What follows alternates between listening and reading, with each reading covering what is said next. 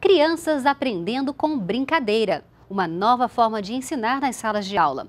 O repórter Leonardo Meira foi até uma escola da Grande São Paulo conhecer essa experiência.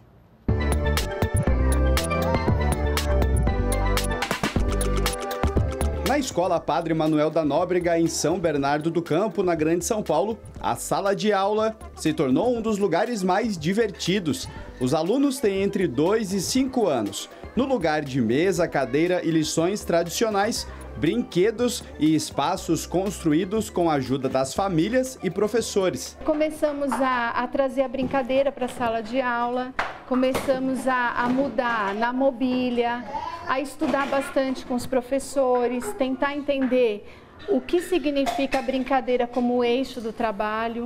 Né? E aos poucos a gente foi mudando a nossa proposta. A ideia é que experiências como essa de São Bernardo se tornem comuns nas escolas de todo o país. Quando eles brincam, eles desenvolvem de uma forma intensa, coisa que a gente não via antes. A gente via a criança sofrendo sentada em cadeirinhas. Aprender assim, por meio de brincadeiras e interações, é uma das propostas da Base Nacional Comum Curricular. Para as crianças que estão nessa fase, o dia a dia na escola precisa ser diferente de outras etapas de ensino. Por isso, ao invés de áreas do conhecimento, como no ensino fundamental e médio, a proposta da base é organizada em campos de experiência. Permite à criança trabalhar com sons, cores, linguagens, conhecimento de si, um conhecimento do mundo. Zilma faz parte do grupo de quatro consultores do MEC que trabalha no texto da base curricular